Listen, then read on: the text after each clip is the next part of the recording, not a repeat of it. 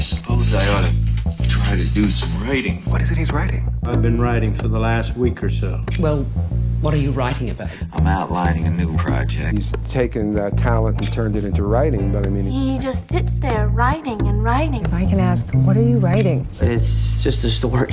What's the title? The title of the story's blank for the moment.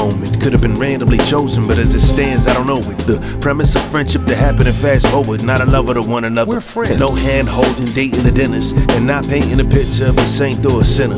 Just an occasional neighborly gestures. Calendar pages get thinner and seasons close gaps. Years later, looking back at what happened so fast and no red. Dear neighbor, every time I walk past the East Theater, I think about you in a lost bag. Your mom's caretaker forgot when she got in the wrong cab, then exited embarrassed and let the door slam. Apartments 3B and C rarely cross paths. A night shift nurse and a city worker that pump gas. Her shift started at 7 and ended when dawn cracked. His was 10 to 6, a more typical format. When they were smokers, both could finish a whole pack. The coffin alone was hell enough never to go back. So while she chewed gum, he chewed tobacco. First time she saw him spit, said, Oh, that's gross. Done. Said, I guess you can't give it up. The reply was dry. More bang for the buck. That was August. Since then, it's been harder than planned to tell his friend he's once again a Marlboro man. And since the story ends on a guy that slipped when he tried to quit, the title is Dare You to Go As Far As You Can.